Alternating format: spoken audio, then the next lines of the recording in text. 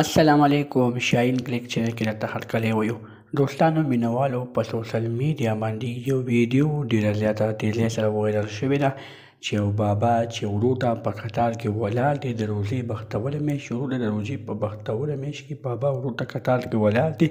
تاسو دغه ویډیو کې کتلی شئ چې هغه بابا د ورو کتار نه پس بیا په ځمکه باندې پروت دی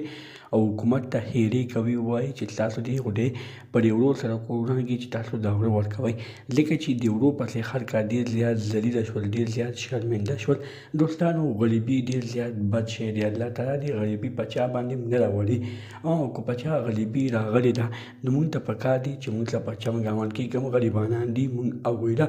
خو بلبل داسې قسمه کار وکړو چې هغوی له یو د ورور تروره والو نو د روژې سراسن والو ځکه چې په روژه کې هغوی غریبانان کار نشي کولی هغوی غریبانان یو کمزوري وي یو پې غریبي وي یو پې نسلي راغلي وي او بیا چې حکومت اعلان وکړي چې له درې بورې وړو پري ورکوم نو هغه پري نه ورکوي هغه پري ورکوي خو ته به ځان ذلیلې ځان به شرمې دوستانو دغه حکومت ته پکار دی چې دا وړه کلي په کلي باندې وویشي ځکه چې له وړه کلي په کلي باندې یو شي نو هغې سره به خلکو ته تکلیف ختم شي نو حکومت د خلکو تکلیف نور هم سیوا کوي په بازارونو کې رش سیوا کوي